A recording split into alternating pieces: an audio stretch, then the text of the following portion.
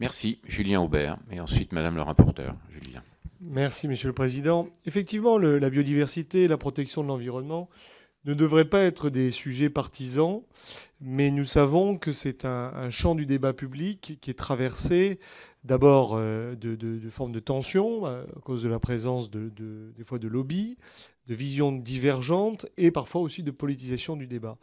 Et je, pense que euh, la proposition qui nous est faite aujourd'hui fait partie euh, de ces éléments qui renforcent la capacité de consensus euh, puisque euh, cette commission euh, sera ainsi en mesure peut-être aussi d'apaiser, en donnant son avis sur le, choix du, futur président du conseil d'administration, d'apaiser certains qui évidemment appréhendent l'émergence de cette agence française.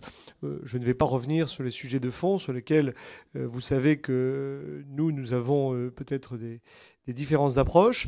Mais je crois qu'en tout cas, euh, associer euh, le Parlement à cette désignation permettra de préserver euh, la diversité des vues, des opinions, et choisir une personnalité compétente qui fera consensus.